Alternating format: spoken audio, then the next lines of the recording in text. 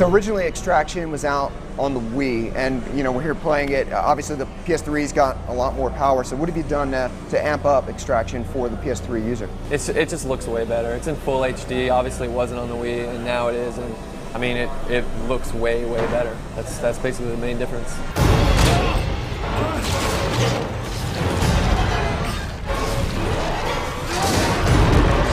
Talk about how you've been able to uh, incorporate the power and the precision of PlayStation Move for Dead Space Extraction. Extraction is a shooter, right? So basically, we, we use the controller as, as a gun. You aim and shoot. We also we, we do alternate fire by rotating the controllers. Certain weapons, like you can shoot at a different angle. Other weapons have a separate fire if you move the controller. And then the move is really nice because all the buttons are just right there. So like reload, stasis, all that stuff is really easy and quick. That's something that if you play the original Dead Space, when you're using the plasma cutter, you're constantly switching between holding it vertically or holding it horizontally so you can you know zap off the, the necromorph uh, limbs. So in this, you literally just turn your wrist and all of a sudden it's vertical fire. Yeah, it's really nice. You know, like generally, like I'll keep it flat for legs because they're all usually pointing down. So it's like leg, leg, arm, and then, yeah, it's, it's really nice and quick. Actually, it's, it's quicker than on a, on a regular controller.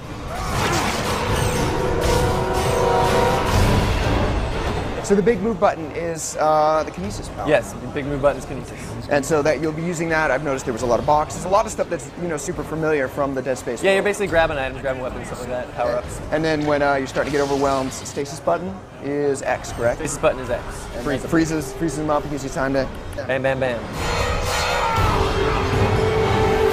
That's Dead Space Extraction, and it'll be packaged in there on the Blu-ray disc with Dead Space 2 coming in January, correct? January 25th, 2011. We're, we're starting to, it's, it's getting close. We're starting to get really excited.